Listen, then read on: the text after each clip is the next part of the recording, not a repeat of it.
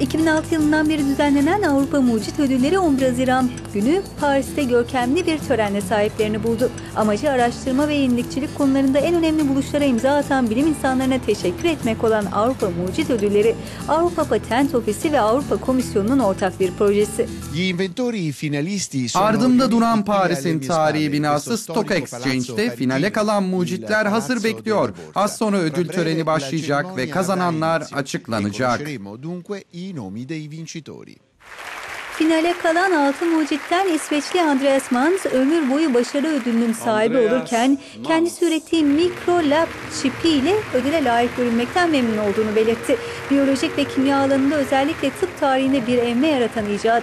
Mikroçiplerin artık birkaç milimetreden büyük olmamasını ve içinde bir laboratuvar barındırmasını sağlıyor. Lab ona çip ismi verilen icat kapsamlı bir laboratuvarın milimetrelik bir çipe sığdırılmasını sağladı ve bulaşıcı hastalıkları küçük bir aygıt yardımıyla Irak bölgelerde bile rahatlıkla test edebilecek hale getirdi.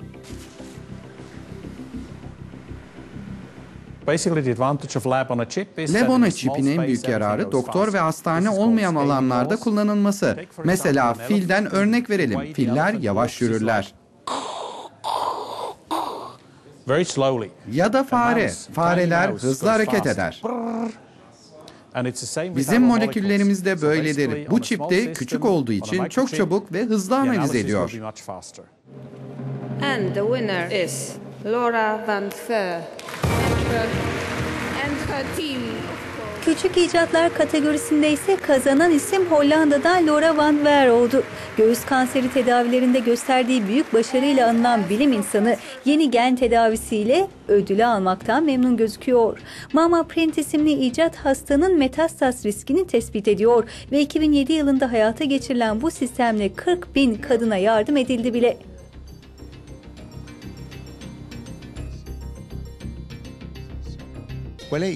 Bu icadın kadınlar üzerinde artıları neler? Neden hastalar bu testi yaptırmalı? Metastas riski görünmeyen kadınlar kemoterapiye ara verebilir. Uzun vadede bu ilacın zararlarından kaçınabilirler. Günlük ya da yıllık kemoterapi seansları Mama Print test sonuçlarına göre kısaltılabilecek. The winners are Franz Antmann and Philip Mogas. Congratulations. Avusturya'dan Franz Sandman ve Fransa'dan Philip Magars ise NFC isimli mobil aygıt veri aktarımı sistemleriyle ödüle sahip oldular. İcat, cep telefonları başta olmak üzere güvenlik kontrol noktaları gibi alanlarda rahatlıkla kullanılabilecek.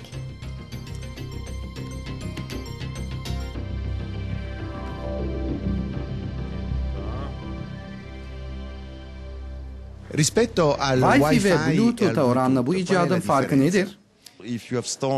Bir metro biletinizi cep telefonunuza yüklediniz ve Paris metrosuna indiniz. Ama aniden telefonunuz kapsama alanından çıktı diyelim. NFC ile güvendesiniz. Çünkü Bluetooth ve Wi-Fi metroda çekmez. Pasif telefonlarda da kullanılıyor. Pasif pili bitmiş aygıt demek. Telefonunuza dokunduğunuz anda piliniz olmasa bile internetiniz çalışacaktır. Bu sene 10. kez düzenlenen Avrupa Mucit Ödülleri'nde Fransa'dan Ludwig Leiber, Avustralya'dan Ian Fraser, Çin'den Jian Zhu ve Japonya'dan Masako Yusasaka gibi isimler de ödüle layık görüldü.